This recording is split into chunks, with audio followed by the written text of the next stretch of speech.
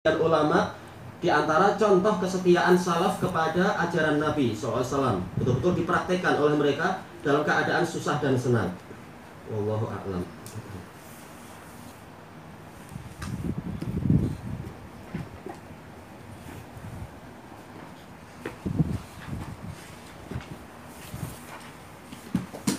Bismillahirrahmanirrahim. Qala Imam Abdul Ghani Al-Maqdisi rahimahullahu taala. Ini muhadis besar dan beliau dikatakan darukut nih di zamannya. Imam Abdul Ghani Maqdisi dan disebutkan dalam biografinya beliau setia dengan hadis dan tidak suka minta-minta. Ini Abdul Ghani. An Abi Sa'id al-Khudri radhiyallahu an anna Rasulullah sallallahu alaihi wasallam qala dari Abu Sa'id Al-Khudri radhiyallahu anhu bahwasanya Rasulullah SAW bersabda, "La tabi'u dzahaba bidzahabi illa mithlan bi misl." Jangan kalian menjual emas dengan emas kecuali semisal dengan yang semisal, yaitu betul-betul setara, semisal. Wala tashifu ba'daha ala ba'd.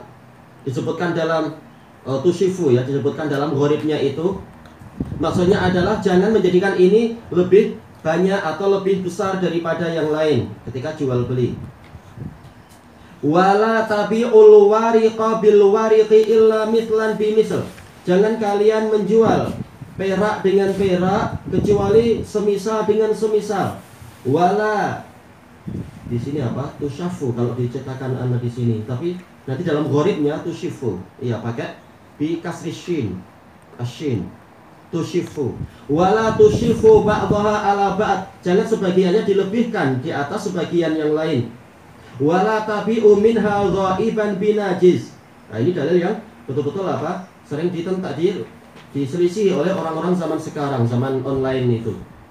Jangan kalian menjual dari barang tadi minha kembali ke emas dan perak yang goib dengan yang najis sesuatu yang sedang tidak ada dengan sesuatu yang bersifat cash atau kontan. Duitnya dikirim sekarang tapi ternyata apa? Emasnya datang tiga hari kemudian. Ini nggak boleh.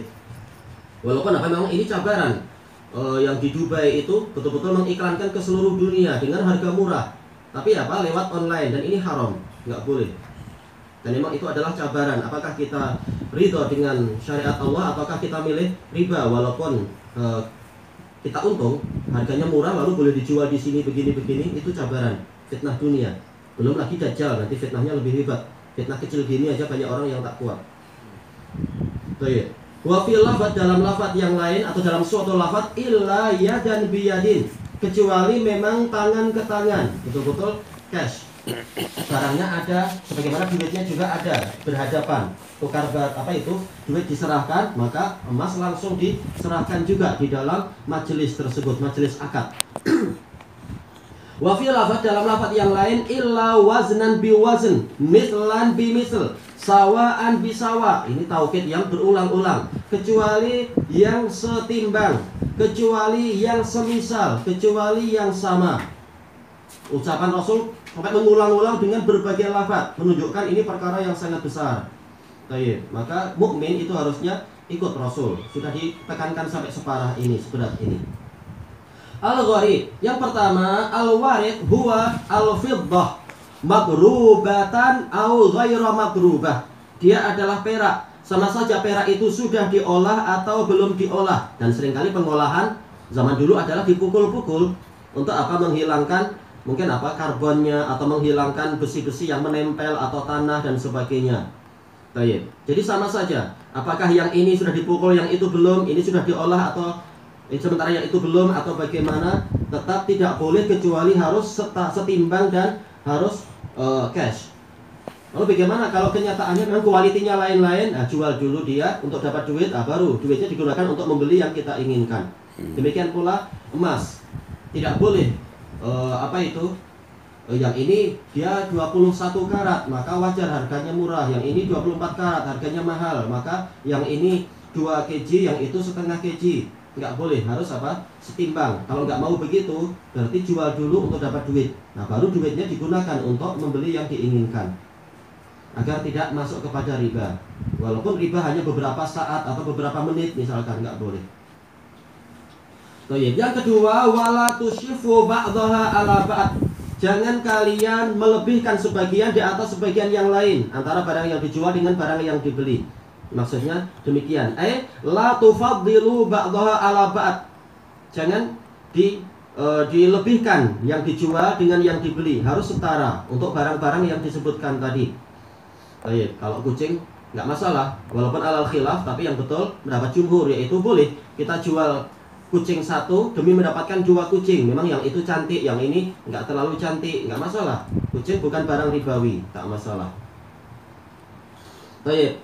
Wahwa rubai min asyafa asyafa yushifu wazan af'ala yuf'ilu wasyif bil kasar az artinya adalah tambahan baik wa yutlaqu ala naqas aidan dan terkadang dia juga lafaz digunakan untuk makna kurang. Jadi apa? Abdad. Uh, fahuwa minal abdad. Ini termasuk lafaz yang memiliki makna berkebalikan. Kadang artinya lebih, terkadang artinya adalah kurang. Baik.